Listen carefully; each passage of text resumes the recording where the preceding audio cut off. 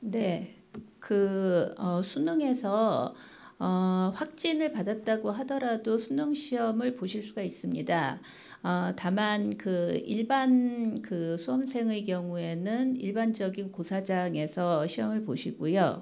어, 확진자의 경우에는 별도로 마련된 고사장에서 수험을, 시험을 보시게 됩니다. 그래서 어, 확진이 됐을 때는 교육청으로 반드시 통보를 해서 본인이 별도 고사장에 입시를 해서 시험을 볼 수 있도록 그렇게 조치를 취해 주시는 것이 어, 필요합니다. 그래서 수능이 어, 차질 없이 시행이 될 수 있도록 그 모두 안심하고 그 확진자의 경우에도 어, 교육청에 통보를 해서 본인에 맞는 고사장으로 안내될 수 있도록 해주시기를 바랍니다.